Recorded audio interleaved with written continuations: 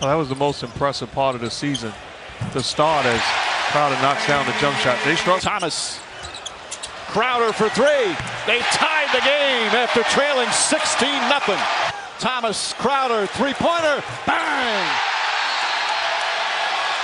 First lead of the game for the Boston Celtics. Thomas kicks it out. Crowder, another three. Crowder, three-pointer. It's good. Ford catches it. Brown off the dribble, hop step, kicks it out. Crowder, Crowder a three. It's good.